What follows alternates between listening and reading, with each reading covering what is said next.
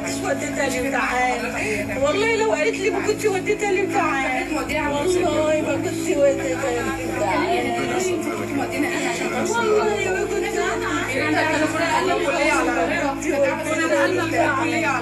والله ما ودي كنت الله يرحمها الله يرحمها أنا قلبي عندك ما قالتليش طب وهو أنتوا يعني برضه سألت حضراتكم؟ من هو المحامي أشرف نبيل وما علاقته بفريد الديب؟ مقابل ثلاثة ملايين جنيه أشرف نبيل يتولى الطعن على حكم إعدام قاتل نيرة أشرف. السلام عليكم لطفا قبل أن نبدأ لا تنسوا أن تعطروا فمكم بالصلاة على النبي. ولا تنسوا أن تضغطوا like واشتراك في القناة وتفعيل زر الجرس.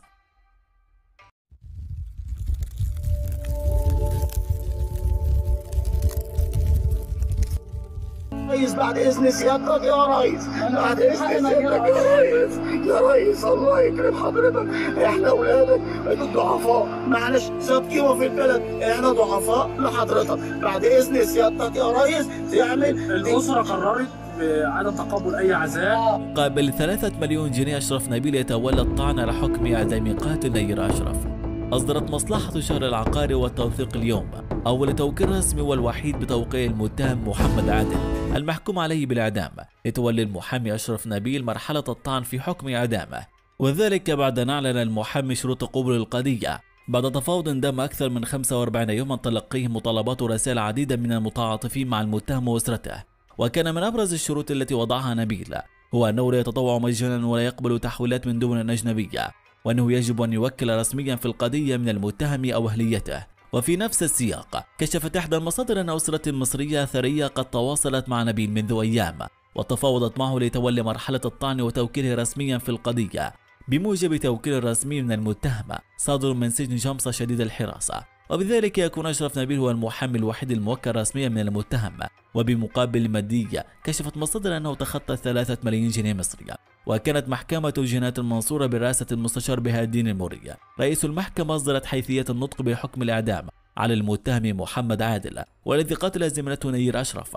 أمام بوابة جامعة المنصورة وقبل دخولها امتحان نهاية العام بعدما طعنها 19 طعنة وذبحها مع محاولة فصل رقبتها. وطلبت المحكمة في حيثية حكمها المشرع بإذاعة أحكام الإعدام على الهواء. أو جزء منها لتحقيق الردع العام المنشود بعد تكرار حوادث الذبح ونشرها مما يثير الذعر في نفوس الآمنين من أبناء الوطن. بالفيديو محامي محمد عادل يوضح طبيعة اتهامه لعائلة نير أشرف بالبلطجة. تحقيقات موسعة تجريها نيابة المنصورة في بلاغ المقدم من المحامي أيمن محفوظ ضد عائلة نير أشرف واتهامهم بالبلطجة وذلك بعد ادعاء الإعلامي أحمد رجب باتهامات أسرة نيرة بالبلطجة والترويع ضده وضد محمد عادل ووجود طرف ثالث في القضية. حرض على قتل نيرة واستمعت النيابة للمرة الثانية لأقوال المحامي مقدم البلاغ. وانتهت تلك التحقيقات منذ لحظات وكان التحقيق منصب على تفاصيل البلاغ. وسؤال حول أن هذا البلاغ يمثل اتهام المباشر من محفوظ لأحد الأطراف. وأكد محفوظ أمام النيابة العامة أن البلاغ لا يحمل اتهاما مباشرا إنما هو بلاغ للتحقيق والفصل في تلك الواقعة وتقديم المتورطين فيها للمحاكمة الجنائية. نظرا لخطورة تلك الجرائم. رسميا المحامي خالد الدسوق يطعن على حكم إعدام محمد عادل قاتل نير أشرف. مقتل نير أشرف طالبة المنصورة وتقدم خالد الدسوقي محمد مصطفى البري المحامي بالنقد. صباح اليوم الأربعاء مذكرة للطعن إلى نيابة جنوب المنصورة الكلية. أمام محكمة النقض على حكم إعدام المحكوم عليه بالإعدام محمد عادل. وقدم البري نسخة مذكرة النقض للنيابة العامة. لإرفاقها في أوراق القضية أمام محكمة النقض التي سوف تنظر في الطعن المقدم منه على حكم إعدام محمد عادل المتهم بقتل نيرة أشرف طالبة المنصورة وعقب صدور حكم الإعدام بحق المتهم محمد عادل قاتل نيرة أشرف طالبة المنصورة وفي اليوم التالي مباشرة يوم السابع من يوليو وقع على طلب الرسمي داخل محبسه حقيقة القبض على محامي محمد عادل قاتل نيرة بقسم طنطا. تداول رواد مواقع التواصل الاجتماعي فيسبوك وتويتر وتليجرام بنطاق محافظة الغربية عدد من الأخبار الخاصة بالمحامي الشاب محمد عادل قاتل نير أشرف عبد القادر ضحية حادث المنصورة المأساوية والتي لفظت أنفاسها الأخيرة أمام بوابة تشكي بالمؤدية إلى مداخل كلية جامعة المنصورة. وجاءت استمرار حملة نشر الشائعات وترويج الأخبار الكاذبة حول أحمد حمد محامي قاتل نيرة آخرها كان التنويه على إلقاء الأجهزة الأمنية القبض عليها. واقتياده لقسم شرطة طنطا الأمر الذي أثار حفيظة أسرة قاتل نيرة وأثار حالة من القلق حيال تقديم مذكرة النقد.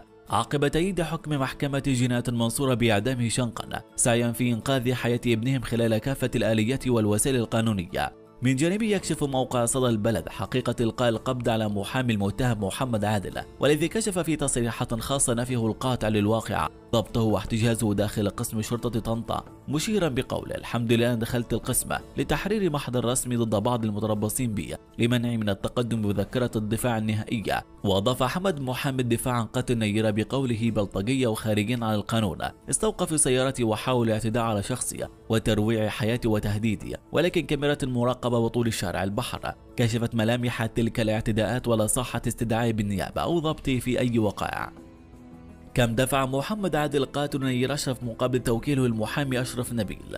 نقلت وسائل اعلام محليه على لسان مصادر مطلعة أن اتعب المحامي أشرف نبيل الذي وكله محمد عادل قاتل نير أشرف بتقديم الطعن حكم الإعدام الصادر بحقه تصل إلى ثلاثة ملايين جنيه أي نحو 160 ألف دولار. ويكشف هذا الرقم عن حقيقة الدعم الذي تلقاه محمد عادل من قبل رجال أعمال مصريين مقيمين خارج البلاد سبق أن أكدوا تعاطفهم مع الشاب الذي أقدم على قتل الطالبة نيرة أشرف في وضح النهار.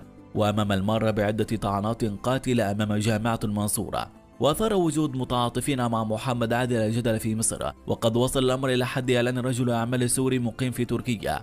عن استعداد لتقديم 10 ملايين جنيه مصري لأسرة نير أشرف. كدية للعفو عن محمد عادل. وقابلت أسرة نير أشرف العرض بالرفض القاطع مبدية استغرابها من التعاطف مع القاتل. مطالبة بسرعة تنفيذ حكم الإعدام بحق القاتل محمد عادل. بالفيديو محامي محمد عادل يوضح طبيعة اتهامه لعائلة نير أشرف بالبلطجة. تحقيقات موسعة تجريها نيابة المنصورة في بلاغ المقدم من المحامي أيمن محفوظ. ضد عائلة نير أشرف واتهامهم بالبلطجة وذلك بعد الداعي الإعلامي أحمد رجب باتهامات أسرة نيرة بالبلطجة والترويع ضده وضد محمد عادل ووجود طرف ثالث في القضية. حرض على قتل نيرة واستمعت النيابة للمرة الثانية لأقوال المحامي مقدم البلاغ. وانتهت تلك التحقيقات منذ لحظات وكان التحقيق منصب على تفاصيل البلاغ. وسؤال حول أن هذا البلاغ يمثل اتهاما مباشرا من محفوظ لأحد الأطراف. والآن أعزائي المشاهدين أعتقد أننا وصلنا إلى نهاية الحلقة ولكن قبل أن أنهي حديثي سأطرح عليكم سؤال وأتمنى منكم المشاركة بآرائكم في التعليقات. ما هو سبب تغيير محامي محمد عادل؟ لا تنسوا أن تشاركوا بآرائكم في التعليقات ولا تنسوا أن تضغطوا لايك أسفل الفيديو من أجل دعمنا. وفي النهاية أتمنى منكم الاشتراك في القناة وتفعيل زر الجرس لكي يصلكم كل جديد أولا بأول. وقبل أن ننهي الفيديو كالعادة لا تنسوا الصلاة على النبي.